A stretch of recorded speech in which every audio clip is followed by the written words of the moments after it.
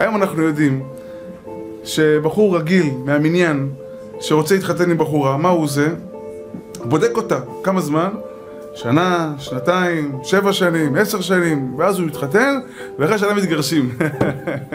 עכשיו, הכי מצחיק, למה מתגרשים אחרי, אחרי, אחרי, אחרי שנה? היא אומרת, הוא קמצן. היית עשר שנים, ראית שהוא קמצן עשר שנים, יש לו ריח מסריח. מה, את לא הרחת את זה עד עכשיו והיה סתום לך אף? אמא שלו... מה, עד עכשיו לא ראית את זה? מה התשובה לזה? תשובה מפחידה. אני רואה את זה בעיניים שלי. אני רואה בחורים שהשם ישמור. היו כאילו ממש שבע שנים ביחד. שבע שנים. חודשיים אחרי החתונה, פיצוצים, צלחות, בום, טראח, מה קרה? איך, איך זה יכול להיות? התשובה האמיתית. מכיוון שאתם לקחתם את הזיווג הזה שהגיע לכם באיסור, כשמותר לכם עכשיו, הקדוש ברוך הוא לא נותן לכם ליהנות. אתם לא יכולים להסתדר עכשיו. היו זוגיונים, שבע שנים, פותח לך את הדלת, כנסי, בכבוד.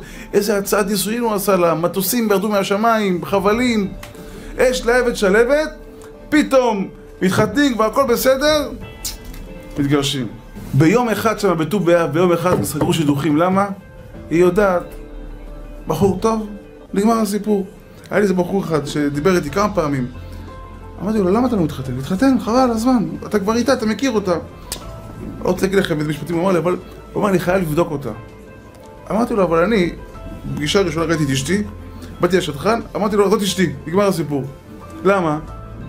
אתה רואה בן אדם עם מידות טובות, אתה רואה בן אדם עם שכל, אש קלבאסה, זהו, נגמר, מה יש לך לבדוק?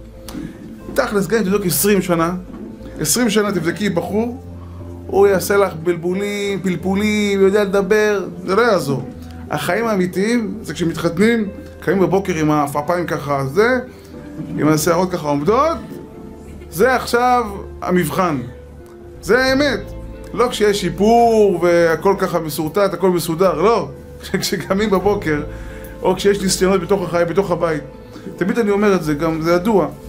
חבר חדר הוא המלשין הטוב ביותר על השידוך. הוא יודע בדיוק, הבחור הזה עצבני, הבחור הזה נקי, איך שהוא מתנהג עם החבר, ככה הוא יתנהג גם בבית. אז כשאתה מבין שלא אתה קובע מי השידור שלך, הקדוש ברוך הוא קבע, זה השידור שלך. אל תתחכה עם בורא עולם, צריך לבדוק, באיסור, מה אתה עושה שטויות? כשמגיע לך, כשאתה יכול ליהנות, אתה כבר לא תהנה.